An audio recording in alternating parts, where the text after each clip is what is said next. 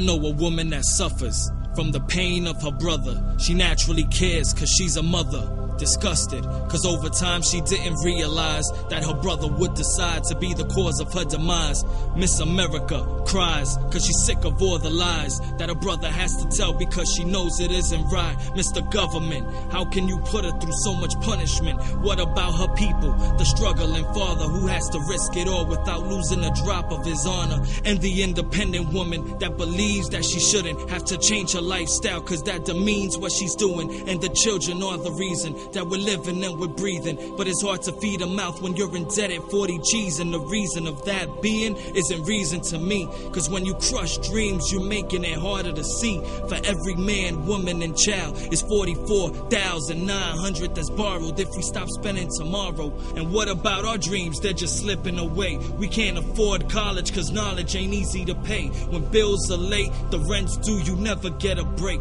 Being unemployed isn't achieving anything great.